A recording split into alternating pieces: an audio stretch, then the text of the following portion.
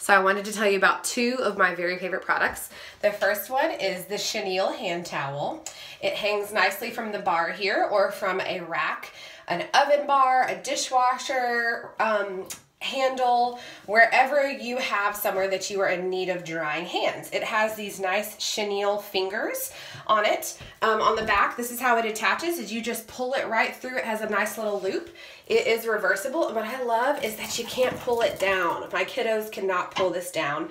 It's super soft. It dries really fast. It has our BacLock technology, which is the silver embedded into the fiber. So it's not gonna grow bacteria and get stinky and smelly like a normal hand towel. I only wash mine maybe once a month. It's amazing how quickly it dries. And even when my kiddos don't do a great job of washing their hands, half the time they probably don't use soap, even though they told me they did. This microfiber is pulling those contaminants from their hands and um, dispensing them onto the chenille fingers. And then that silver is going to work purifying the fibers so it's not holding on to that yuck. Um, this is a must-have in so many homes. Um, this is the graphite. We have many other colors um, as well. And then my second fave is the optic scarf. Now I don't wear glasses, but I still keep this clipped onto my purse and it is amazing for things like glasses, iPhones, iPads. We even have them in camo with a carabiner for men, but I wanna show you just how well that it works.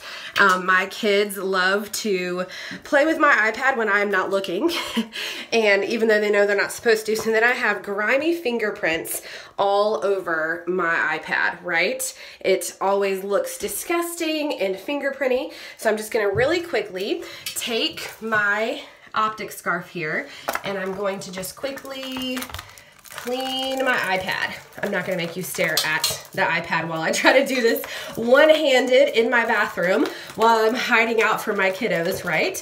But it's really fast, really, really easy. It doesn't leave it any streaks at all um, on your iPad or your iPhone or your glasses. It's the best thing ever to clean glasses with. So it leaves it smooth and shiny and awesome. So these are super cute and handy and I probably get asked about this more than anything because it's attached to my and it comes in different colors and it's phenomenal. So those two are some of my faves that are not the common things that we talk about.